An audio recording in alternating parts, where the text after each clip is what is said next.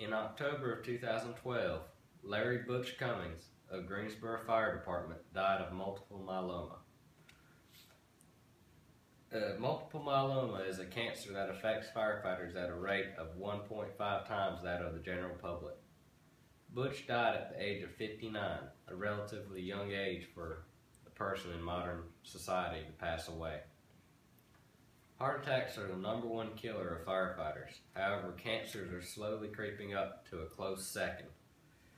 Chemicals and carcinogens within today's modern structure fires lead to this increase in cancer rates within firefighters.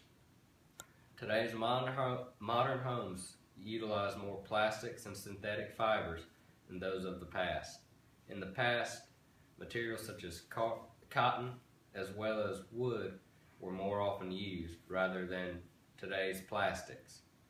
This increase in plastics increases the uh, chemical that are released into the atmosphere. Rather than just worrying about carbon monoxide, firefighters now worry about hydrogen sulfide among many other toxic chemicals. These toxic chemicals being released increase the chances of firefighters' cancer. Few of the cancer rates that are more prevalent is testicular cancer, which is two times that of the general public's risk, mesothelioma, which is increased by twofold in the firefighters' population, Lymphoma firefighters have 1.5 times the risk than the general population, and skin cancer is 1.4 times as likely to affect a firefighter than somebody in the general population. Absorption helps increase the uh, within the skin helps increase the chances of getting these chemicals into your system. Firefighters utilize hoods on their necks that protect them from heat, but this also increases their exposure to these chemicals. The hoods will absorb the chemicals which then leach into the, into the firefighters' bodies. The most absorbent parts of your body are the neck, armpit, and groin areas. And for every 5 degree increase in skin temperature, your body absorbs any material at a rate of 400 times that of a normal body temperature.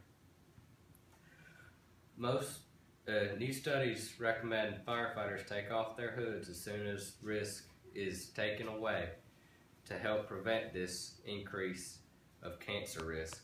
North Carolina currently does not cover firefighter cancer as a disability.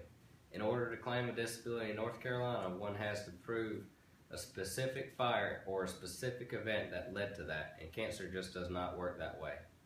Many states do not actually count firefighter cancer as a disability, even though studies have shown the increased rates within firefighting communities.